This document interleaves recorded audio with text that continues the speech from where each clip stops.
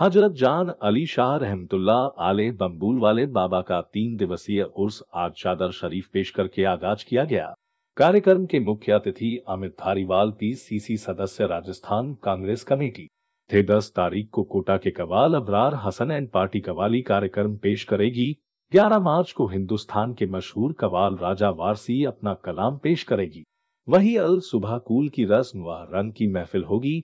कार्यक्रम में उर्स कमेटी की ओर से रुस्तम खान, हाजी चाँद भाई, सदर मुन्ना भाई शकील मजीद, अनवर भाई। निज़ाम अंसारी, पूर्व पार्षद उमर सीआईडी पार्षद परवेज, शिब्बू साजिद भाई, लाला टावर वाले आदि लोग मौजूद रहे। वही लगकर तबरूक तकसीम किया गया। मुल्क में अमन चैन की दुआएँ की गई। गद्दीनशीन शानू ने सबका इस्तेकबाल किया गया। वही सैकड़ों की तादाद में अकीदतमंद लोग शामिल हुए। आज का जो कार्यक्रम है, उसमें हज़रत जान अली शाह रमतुल्ला उर्फ़ बम्बुल वाले बाबा का सालाना उसका आगाज़ किया गया है। आज चादर पेश की गई, कुरान खानी हुई, उसी के साथ लंगर का अहतमाम भी किया गया। कल बरोज़ जुमे को यहाँ कवाली का कार्यक्रम है, जो कोटा के मशहूर कवाल अबरार रसन एंड पार्टी अपना कवाली कार्यक्रम पेश करेगी। उसी के साथ लंगर का अहतमाम भी होगा। साथ ही शनिवार के रोज़ हिंदुस्तान के मशहूर मरूफ कवाल मुराद राजा वारसी तशरीफ़ ला रहे हैं। तो वो हम उनका हमनवा कवाली कार्यक्रम पेश करेंगे।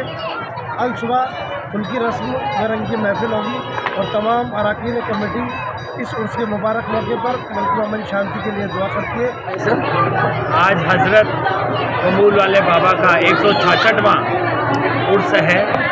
और आज तमाम मेरे मुस्लिम भाइयों के साथ में चादर पेश करने आए हैं। और मालिक से यही प्रार्थना करिए, बाबा से यही प्रार्थना है कि हमारे हिंदुस्तान के अंदर, हमारे देश के अंदर और हमारे राज्य, राजस्थान के अंदर अमन चैन बना रहे और महँगाई जो इतने वर्षों से चल रही है, लगातार कमर तोड़ महँगाई पे काबू मिले।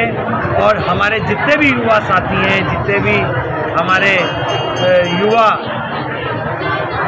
राजस्थान के और हिंदुस्तान के अंदर जितने भी युवा हैं, उन सबको मालिक रोज़गार से नवाजें।